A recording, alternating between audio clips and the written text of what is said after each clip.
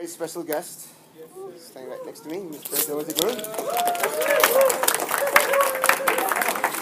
Uh, we have known each other since we were seven years old. we've, been, we've been class buddies since grade two. Uh, then we went to United World Colleges. He went to the one in Italy. I went to the one in U.S. in 1988. And then uh, we were in Europe for several years, but he stayed longer and uh, he uh, taught in different United World Colleges uh, and also a few other IB schools. So he's here to share his experience living abroad as a teacher, talk about different um, IB World schools he's taught at, and in general, just the experience abroad, and he'll try to connect that to the TOK. Okay? before we start, do you have? Um, this is the only TOK sort of meeting this week, right? So, but we will talk about what we learned here today. So, you know, this is not just a throwaway class, it's something that you have to co contemplate. so, please pay attention. All right, right. Right. Uh, now that you've taken your floor, let me take the floor. Anyway, um, as, as Dinesh sir mentioned, we go back a long time, um, all the way to second grade, when you weren't even born. so you wouldn't remember, obviously. And what? Uh, and I'm going to embarrass him now, because I can.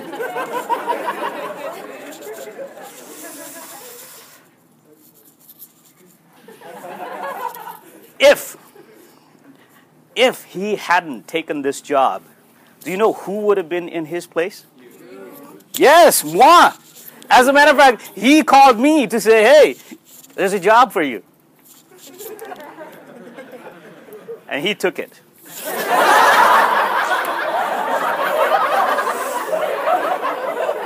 Actually, that's not true. That's not true. I said, I'm too busy. I was in Azerbaijan at the time, so I was too busy teaching kids like you outside of Nepal. And still traveling, still moving around. Um, that was, Christ, 2009? Eight? Eight, nine, yeah. And um, I came back only in 2013, so I was no, I, I, I wasn't ready to come back. So um, it's just as well that he took it because it looks like you guys are taken very good care of. Right? Right, okay. Um, to start my talk, I'm going to pick on a few of you. What's your name? Sonia. Salina. Salina Neupane. Any other Neupanes here? No? No Neupanes? Right, okay. Uh, Neupanes are Brahmins, right? Any other Brahmins here? Raise your hand. One, two, three, four, five, six, seven, eight, nine, ten, eleven, twelve, thirteen. All right, okay. Fair number, fair number. What's your name? Julia. Julia. Jiria. I go away for 25 years and Nepalese names are just, they should sound completely strange. Oh, Japanese. No wonder. no wonder. And I, I thought I was terrible at hearing and recognizing Nepalese names. All right, so you don't count. Sorry. For this exercise, that is, not as an individual. What's your name? Tsiring. Tsiring Lama. Okay, I can work with that name. Any other lamas here? All right, one other lama. So, two. All right, three. Three, okay. Um, where are you from? Boda. Boda. And lama, is that Tamang? Tibetan. Tibetan. Okay. Any other Tibetans here apart from those three? All right. I'm raising my hand too. Okay, good. That's five of us. Okay, okay. Good, good. What's your name? Manishri. Manusri. Manishri. Manisri. See, I did say it. The Nepalese names have morphed into some. Manisri Shwesta. Shrestha. Any other Shresthas here? Okay, we're only in Kathmandu Valley, right? So, hold on. Put your hands up. Put your hands up. One, two, three, four, five, six, seven, eight, nine, ten, eleven, twelve, thirteen. Okay, 13. Any other Newars here? Okay, all right. That's another six or so. Okay. Right, let's see. What's your name? Himanshu. Himanshu. Khetan. All right. What's a Khetan? Who's a Khetan? Marwadis. Any Marwadis here? One, two, three. Okay. What? There's someone else who's absent. Okay. All right. Five. That would have been five. Okay. Um, any Chetris here? Okay. All right. About ten of you. So number of Brahmins, number of Chetris, Newars. What would you call yourself? Not a Chetri, not a Brahmin. Best. The best.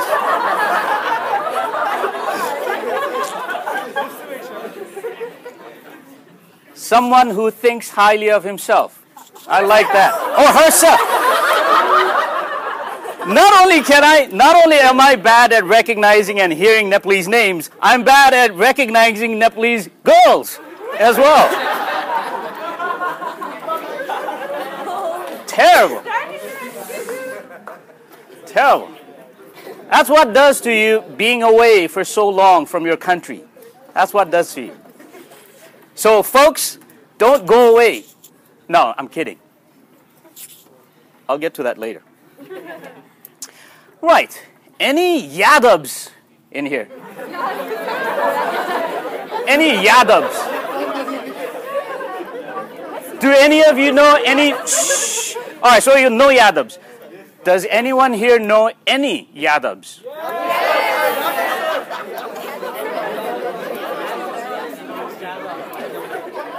Yadav? Surname Yadav. Does anyone know any?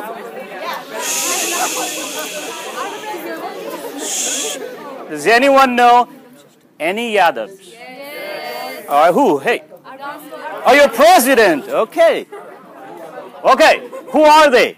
What are Yadavs? Who are Yadavs? Anyone? Hands up. Yes. Okay, they're from the Tarai. Thank you. They're the Brahmins of the Tarais. All right. Does anyone know Pariyars? Pariyar. Yes? Who are they? What are they? You don't know. Okay, anyone know who the Pariyars are? What about Vishwakarmas? Who are they?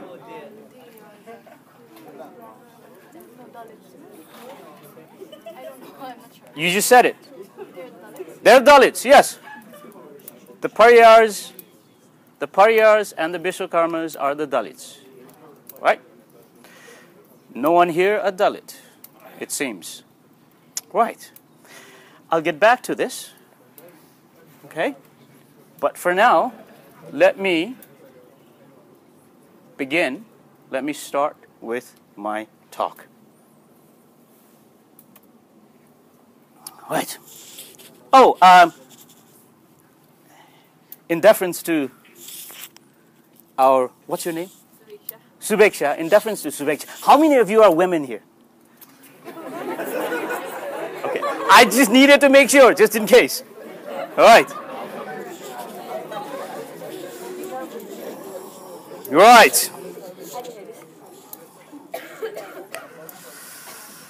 Now, unlike many of you, unlike a number of you, okay, I wasn't born into privilege. Being born a Tibeto Nepalese in our country meant that considerable odds were stacked against me. That these odds may even be insurmountable. While I suffered in Nepal because of the circumstances and the context of my birth, they, however, did not determine my destiny. I was able to achieve my dreams. My dreams take flight. My dreams did take flight. And as a result, I achieved considerable personal and professional success. I credit that success to. Okay, now. Uh, right, I credit that success to, firstly, to the privilege of education, both formal and informal, and secondly, to humanity.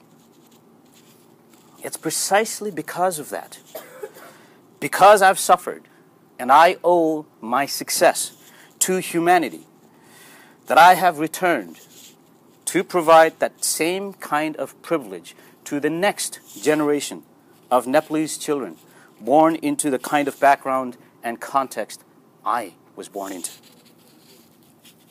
And also to inspire the next generation of Nepalese, like yourselves, to dream and become agents of change in our country.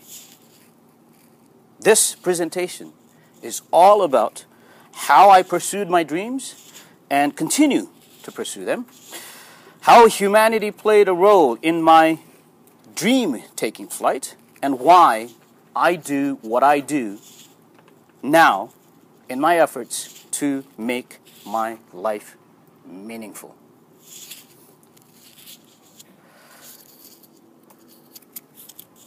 I'm from the little village of Tangbe in Mustang district.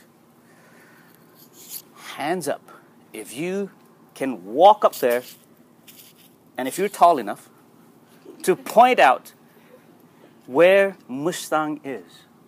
Hands up. Right, go ahead.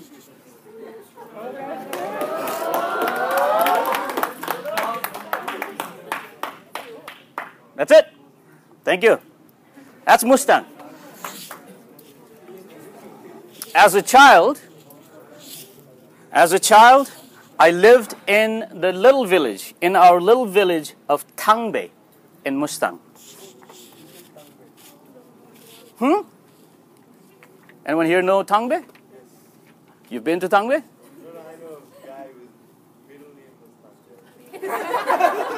Yes? How do you know? You've been there. From where? Mustang. Wow, okay. What village? Which village?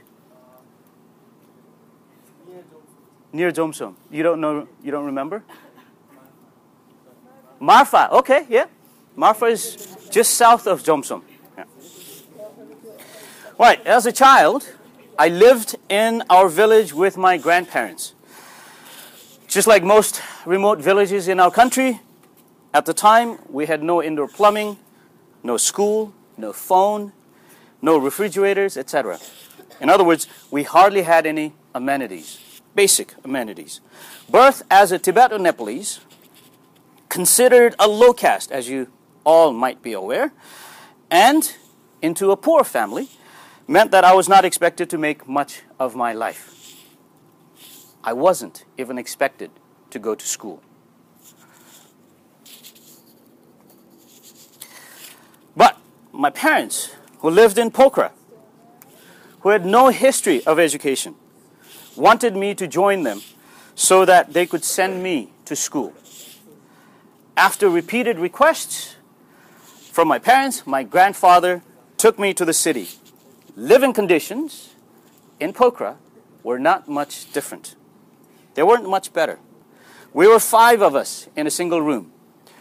After a couple of moves, we ended up in a two room living arrangement. By that time, we were seven. We were anywhere from seven to ten members, including cousins and relatives. I was attending a government school at the time. Moving residence, I moved schools as well. A teacher at the third school, Bal Jyoti, I credit with starting me on this incredible journey of education and discovery about the world and humanity. Realizing that I had potential, the story goes that this teacher took my dad aside and told him, and I quote, Your son has potential, but if you leave him here, nothing will become of that. Take him to Kathmandu and put him in a good school. Heeding his advice, my dad brought me to Kathmandu, and to make a long story short, I ended up at St. Xavier's Godavari School with Dinesh sir at the foothills of Pulchoki. At St. Xavier's, I was encouraged and inspired by North American teachers to dream. They also provided me with the drive to imagine a world and life different from that in Nepal. My fifth grade teacher, Father Downing, from Cincinnati, Ohio, in the U.S., was one such teacher. From the U.S., was one such teacher. Apart from regaling us with stories of the U.S., he would bring former students, former student visitors to the school to talk to us about their lives. Many of them, either graduates or current students at universities and colleges in the U.S. As a result, as a fifth grader, I dreamt of going to the U.S. for further studies and ultimately of returning home to help children from backgrounds similar to mine. David Beeston, another North American teacher, describing how winter in Kathmandu is different from that in his hometown in Canada, said something I still haven't forgotten. And I quote In winter, in Winnipeg, when you look out the window, all you see is white everywhere. Growing up surrounded by hills and mountains in the far off distance in Kathmandu, I was intrigued. The other drive was to be the first one from my village of Tangbe to get qualifications from educational institutions abroad. However, as the firstborn, I was under constant pressure to quit school and start working to support the family financially. Furthermore, because I was from Mustang, a Bhote, as we say in Nepal, as I was growing up, our society continuously reinforced its lack of belief in me. In spite of all of that, stubbornly, I stayed on and completed, stayed on in school and completed high school, becoming the first one from my entire extended family to do so. A family of five brothers and over three dozen first cousins. More than a dozen of, dozen of them older than me. Then in 1988, the next lifeline appeared a full scholarship to the United World College of the Adriatic, as Dinesh sir intimated earlier. One of the number of things I remember, one of the number of things I recall about my experiences at the United World College, one which always gives me a warm feeling in my heart, is the way my friends and their families made me feel special during vacations when I couldn't afford to fly home or to go on vacations to other parts of Italy or other European countries. Every single school break, my friends would invite me to, their, to stay with their families. Not only that, over winter break, for instance, the family would give me Christmas presents, just as they did their own children. An Italian family not only bought me presents, not only bought presents for myself, for me, they also bought a gift to give to a very good friend of mine as her birthday present from me. Those two years, during those two years, I was on the receiving end of incredible generosities and kindness. Also, during those two years, I met and befriended fellow students from all over the world, shrinking my world. Traveling a bit, I got a glimpse into the natural beauty of our planet, something I'd only read about in the novels I had devoured throughout my school career here in Nepal. And it was during those two years that I came to believe that we humans of different nationalities and different cultures, practicing different religions, had more commonalities than differences. Towards the end of my UWC experience, I realized my dream of going to the US. The scholarship I'd been dreaming about since fifth grade came the spring of 1990, taking me to Grinnell College in the US. At Grinnell College, between 1990 and 1994, again, I met some amazing people and was on the receiving end of a great deal of kindness and generosity. Graduating from Grinnell, I became the first person from my village and maybe even the whole of Upper Mustang region to get tertiary qualification from an educational institution abroad. Approaching graduation, I knew what I wanted to do, and it wasn't to return to Nepal. Not immediately, anyway. The spring of 1994, my last semester at Grinnell, one late afternoon, watching the late afternoon sun setting and the sky turning different hues every several seconds, my friend Aubrey had asked, and I quote, So, what do you want to do? I told her, and I quote, I want to go see the world. But the trouble was, I had no idea how. As luck would have it, though, my former chemistry teacher at the United World College of the Adriatic invited me back to the college. I jumped at the opportunity, and that put me on a career of teaching, traveling, and exploring the world. For most of the 20 years between 1994 and 2014, I pursued a fantastic international teaching career spanning 10 different countries. By the time I approached the end of my teaching career, I'd traveled to about three dozen countries, and my network of friends spanned the whole globe. I'd seen and done some amazing things in this incredible world of ours and learned a great deal about it. I'd trekked to an altitude of 5,500 meters in Nepal and scuba dived to a depth of 31 meters in the Philippines. I'd swum with wild dolphins off the coast of Zanzibar. I'd skied in the Swiss Alps, snow camped in Norway, hiked in the Dolomites in Italy. I'd gone hot air ballooning in Australia and had gone on wildlife safaris in Nepal, in Zambia, and the awesome Ngorongoro crater and the incomparable Serengeti Plains in Tanzania. I'd learned to play the didgeridoo, ultimate frisbee, and to dance salsa and merengue. All the while, of course, I'd been planning to return home to fulfill my original dream. The only question had always been when.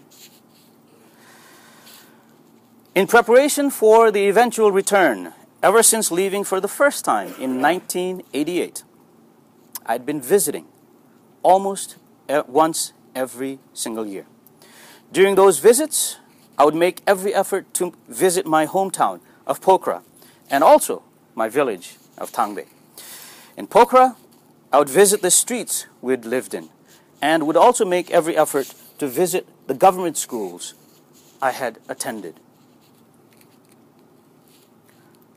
returning often was the only way to keep myself from losing my way. My way back to the beginning, to where my life's adventure had begun. In the meantime, the educational opportunities I'd had, the professional experience I had, the travel opportunities, what I'd experienced, what I'd done, what I saw, what I'd seen, what I'd been given and rewarded with by people I'd studied, taught, worked, and traveled with. All those privileges I'd had, they'd all been beyond the wildest imagination of the 1981 fifth grade kid at St. Xavier's Godavari School, dreaming of going abroad for studies and making something of himself. Not surprisingly, therefore, even as I was doing everything I felt I needed to to maintain my connections, my connections and ties to where I came from, those experiences would transform me into a person I hadn't imagined then. One of those important, one of the important transformations was that of thinking of, of myself as a human being first, and then everything else. All aspects of my identity, my ethnicity, my nationality, etc., coming next. What's more, countries now represent more faces, people, and humanity than political and geographical entities. The other result of my incredible in- international education and travel was drawing certain conclusions about life and the world we live in. Here's one of the first ones.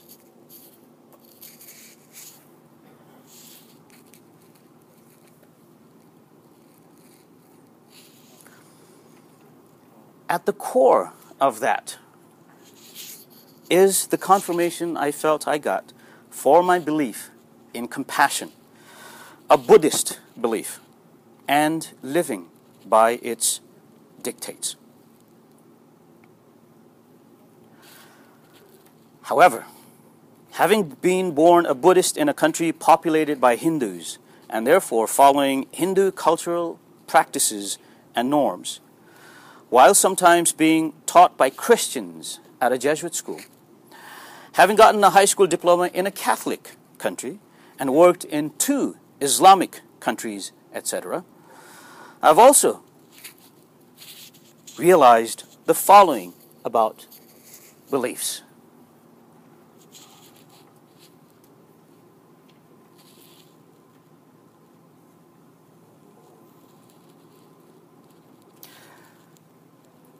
One could make one's life meaningful by living according to a certain set of religious beliefs, but not insist or require or demand that others also believe them and live by them.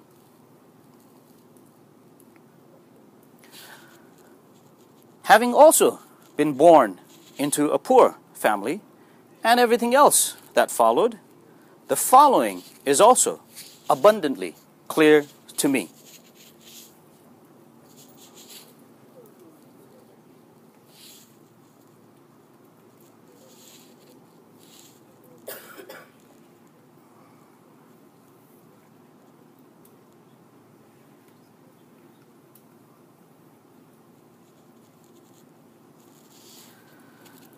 And those core values are none other than kindness, generosity, and compassion.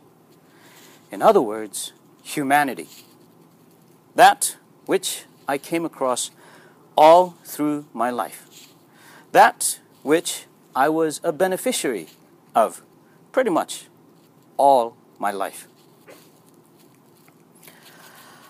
What I have also come to realize having experienced poverty and having seen poverty all over the world everywhere I lived and traveled is this.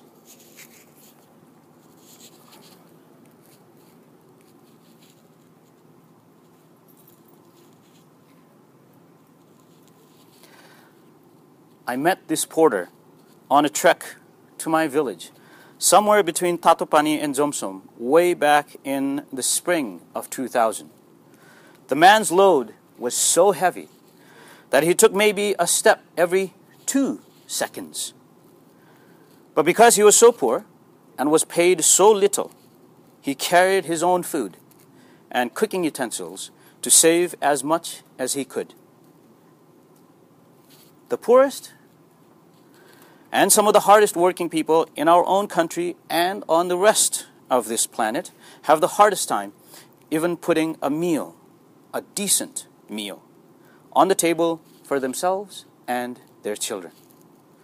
And yet, these very people, the weakest and the most vulnerable, the poor, the marginalized, and their children, are often treated the worst.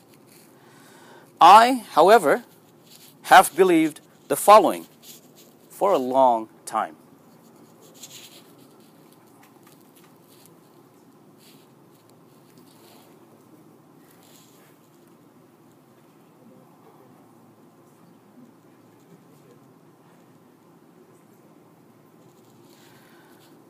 Some of the weakest and the most vulnerable in our country are children of poor families, children of Dalits, the untouchables, children of marginalized groups such as Tamangs and Tharus, especially girls.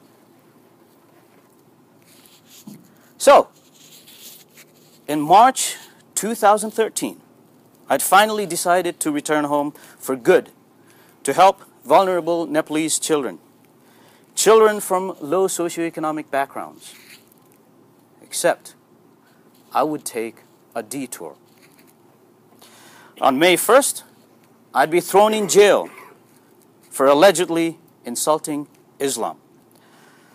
Unlike a number of other fellow Nepalese jailed on trumped up charges, who had no help from anyone, on the eighth day of my own incarceration, once again, people came to my rescue. It began with friends of mine getting Doha News to publish, Doha News and Washington Post to publish my story. That was followed by people from all over the world coming to my rescue. Classmates and schoolmates, such as Dinesh Sir, from my former schools and colleges, colleagues from Qatar Academy, former colleagues and friends from when I worked in other UWCs and other countries, former students, etc., came to my rescue. They rallied behind me and initiated a worldwide campaign asking the Qatari government to respect my right to due process or to release me on human rights grounds. The campaign got so big, as a matter of fact, that within four days of initiation, I was released. I returned home on May 13 after spending 12 days in jail. The reason behind my victimization, once again, had been the circumstances of my birth, being born a Nepali. The 20 month experience in Qatar in general and the 12 days in jail in particular was yet another lesson in pain, suffering from injustices, and redemption by humanity. But hundreds of thousands of people everywhere, in many of the countries I've lived and traveled in, suffer similar and other injustices all the time.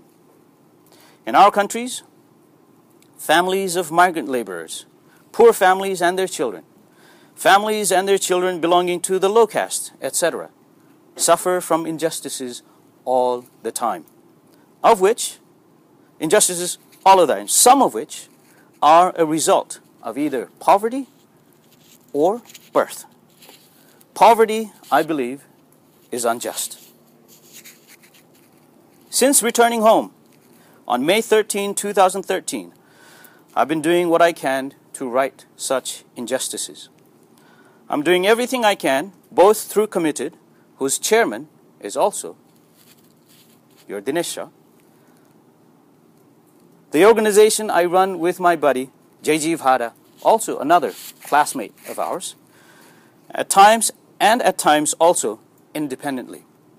Committed helps government and community schools, schools similar to the ones I started my own academic career at in Pokhara, schools where children from low socioeconomic backgrounds attend, to ensure that they have a shot at a better life than their parents.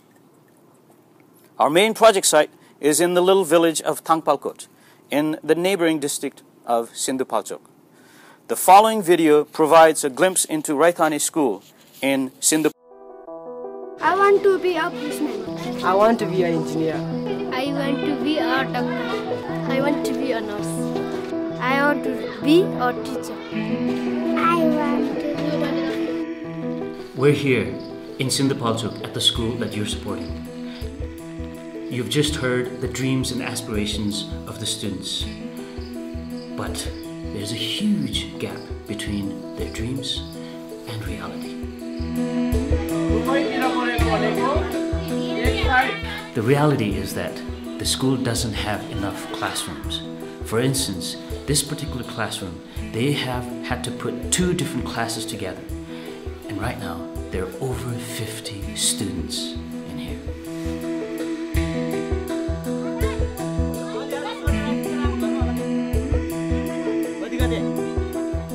The other issue, the other challenge here is the quality of teaching.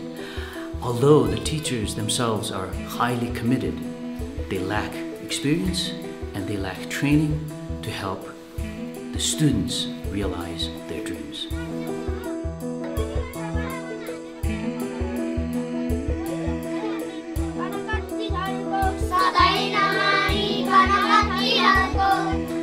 I'm incredibly grateful for the support that you provided me thus far. I need one final push to get us past the tipping point, to help the children of Sindhupalchok achieve their dreams.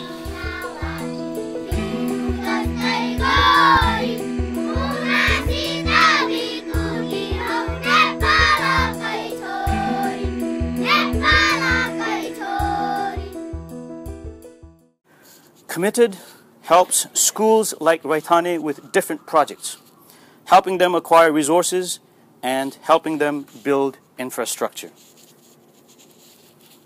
The most important project, however, is that of setting up a fishery, what we call a social business for education, to generate income for the school so that it is self sustainable. In addition to that,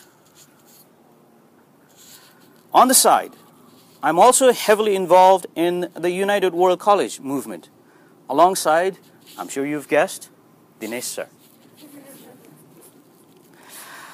Which would also be relevant to some of you gathered here today, but I'm assuming you've already been told all about it, because one of you applied. And some of you probably would qualify next year as well to apply. Ask Dinesh sir. As a member of the UWC National Selection Committee, I'm involved in the selection of the next generation of Nepalese youngsters, concentrating my efforts into encouraging children from low socioeconomic backgrounds to apply and assisting them whenever and however I'm able. For instance, last year, the candidate we selected, Iju, came from a family that could not afford the $2,500 or so in personal expenses which I fundraised from my network of friends and acquaintances around the world. She's currently a first year IB diploma student, just like you guys, at the UWC Maastricht in Holland. This year, just a little over a week ago, we completed the third and final stage of the selection process. In the next several days, we should be able to finalize a little over a dozen Nepalese UWC scholars. That brings me to why I do all of that. Here in Nepal, I do them for two reasons. Firstly, to ensure that those children realize their dreams and have, if even on a small scale, the kind of incredible life I've had, namely to see and learn about this marvelous world we live in and the people we share it with. Secondly, and more importantly, to ensure that they do not experience the suffering, the pain, and the injustices I have experienced, which they invariably will, especially little girls and Dalit children, if no one does anything about them. While those are the reasons for my work in Nepal, in general, I do them to promote international understanding and contribute to peace in the world. I believe our feelings for fellow human beings, our compassion and empathy for fellow human beings, our ability to see ourselves in the shoes of fellow human beings and working to alleviate them will contribute to making the world a better place, a more peaceful place, a goal of United World College education.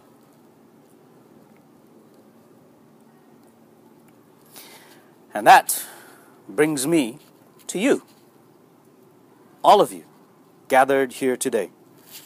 Having made it thus far, you have already accomplished a great deal compared to most of our countrymen. Having completed SLC, as you can see from this histogram, you are a member of a small minority of Nepalese.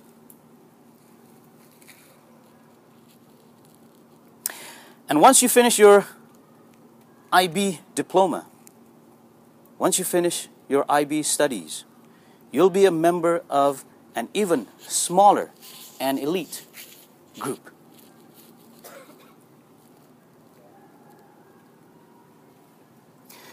In other words, you've had and will probably continue to have opportunities that most Nepalese don't, and probably won't for quite a while still. And now, going back to the exercise I performed with you at the beginning where we looked at your composition.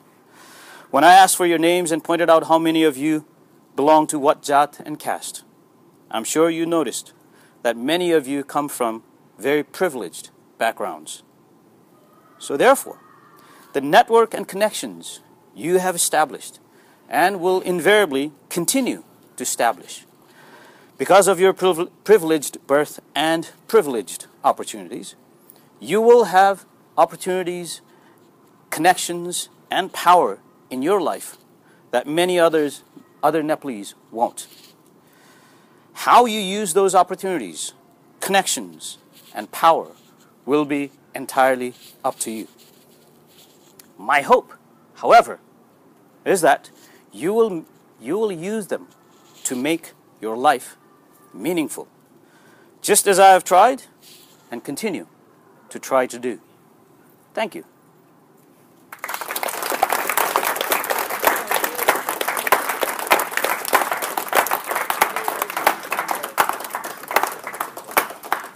Now, I yield the floor back to you. Questions? It's your floor now. I know you claimed it the minute you walked in, but